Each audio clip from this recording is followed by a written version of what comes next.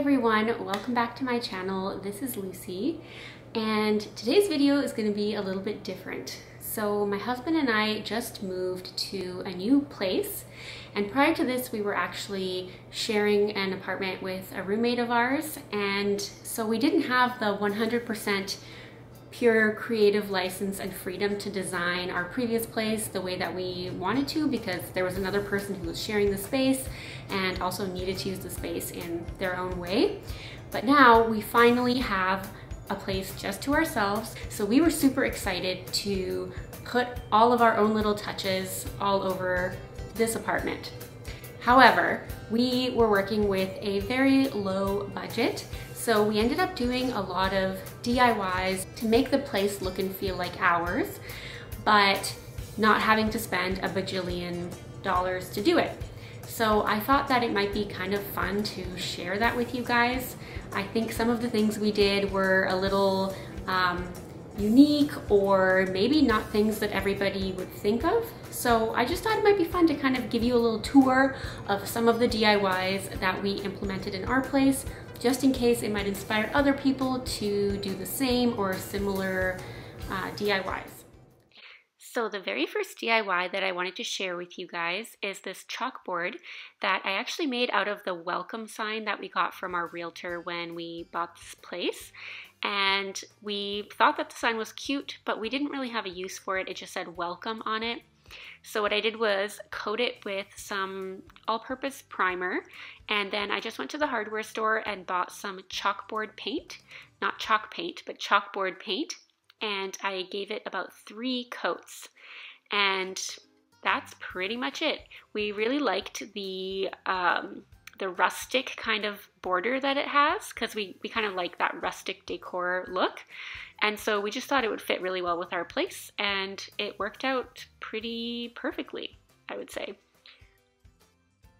So the second piece of DIY decor I wanted to show you is this hanging item uh, made out of some driftwood that I found. We live on the shore of Lake Okanagan, which is a really big lake, and there's always tons of this really beautiful kind of warped driftwood lying around. So I have a pretty big stash of it in my studio, and I made this piece of art just by drilling some holes into the pieces using a Dremel drill tool and then I just threaded some recycled copper electrical wire through the holes to connect the pieces together and um, for the decorative elements I just kind of wound the wire in on itself to create a swirl kind of pattern uh, but you can do anything that you want like you can make this as simple or as complicated as you like and we actually have another one that's kind of similar but slightly smaller hanging up in the studio.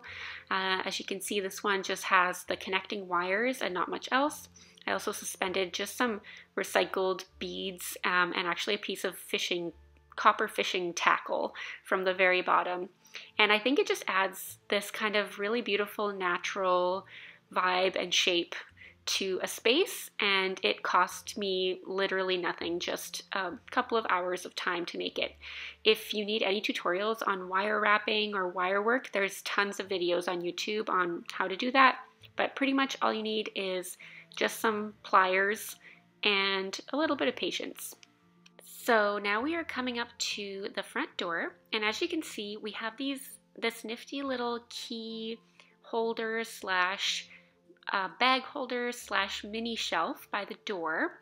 And if you remember that picture from before that had the welcome sign, it also has, you can't see it very well, but a champagne bottle with a champagne glass holder attached to it. So this little shelfy thing is actually that champagne glass holder that we just repurposed by attaching some hooks to it um, and then there's also a little decorative sign that says Guatemala because my husband is from Guatemala. So we just wanted to add a little personal touch to it.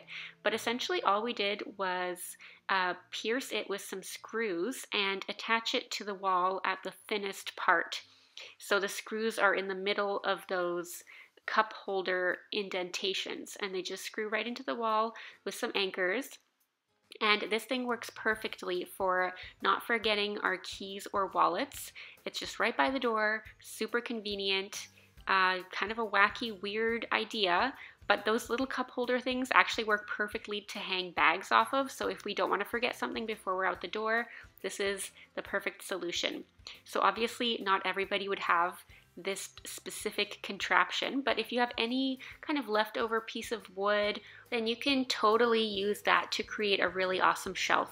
You can even use additional tools to make it um, fit the shape that you're looking for. But my point is that if you think a little bit outside the box, you can come up with some pretty cool stuff.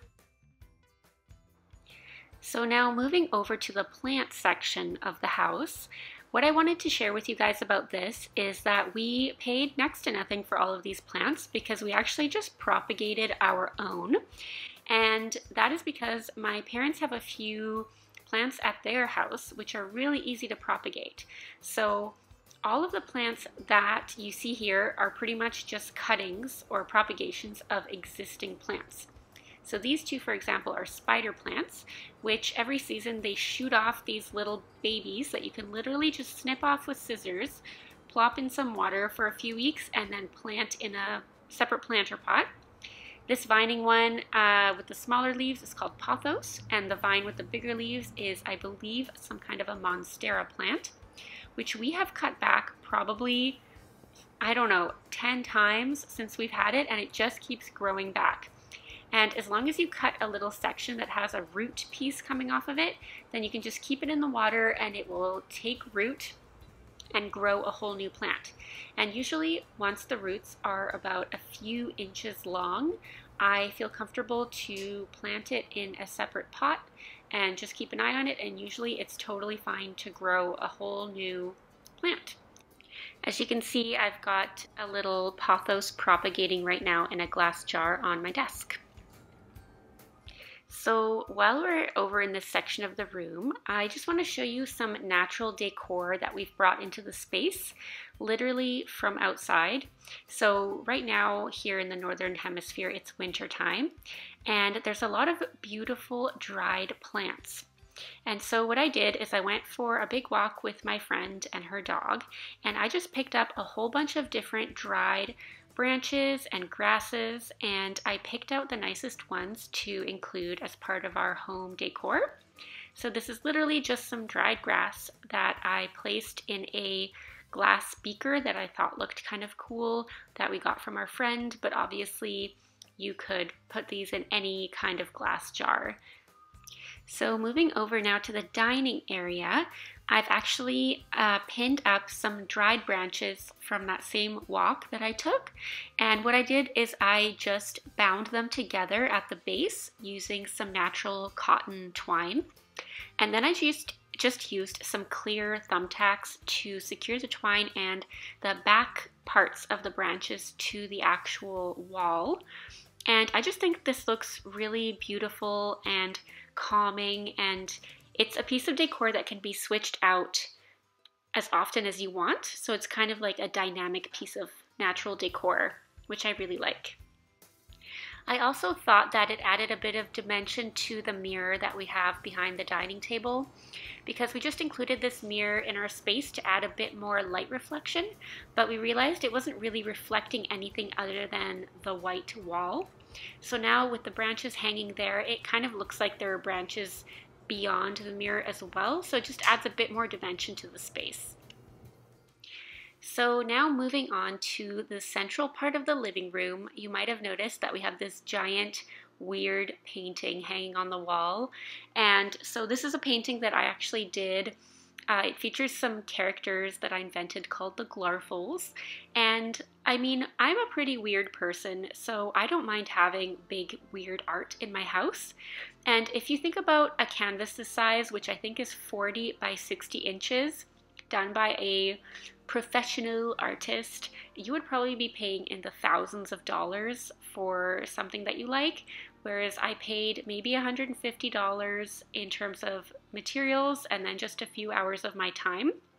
And even if you're not an artist or if you don't do art normally, there's tons of tutorials that I found on YouTube that guide you through selecting uh, colors that work well with your space, and painting some really simple abstract artwork. It's really not that difficult. Once you get the hang of basic shapes and basic brush strokes, you can just follow a tutorial and create something super beautiful in not very much time. So now moving down to our coffee table area, I did a DIY on this little wooden coffee table that I bought at a secondhand store. And all I did was paint it white. And then on the top of it I used a technique called acrylic pouring where you mix acrylic paints with a pouring medium that makes them more liquidy. And there's literally a bajillion tutorials on YouTube about how to do this which is how I learned how to do it and guess what? I did a terrible job. This is not how it's supposed to look at all. It's supposed to have these really cool circular cells form within the paint and it actually did have that but then I think my paint consistency was incorrect so it all kind of flowed off and the shapes got pretty distorted but my husband said that he liked it so we ended up keeping it and then all we did to make the table usable was to coat it with three or four coats of a clear varnish that you can buy at the hardware store. So this is actually my second attempt at doing an acrylic pouring piece on a coffee table and I think it turned out a lot better. I really like the shape of the cells. I think the paint consistency was much better. Uh, but actually we ended up deciding that it was a little bit too busy to keep around the couch area.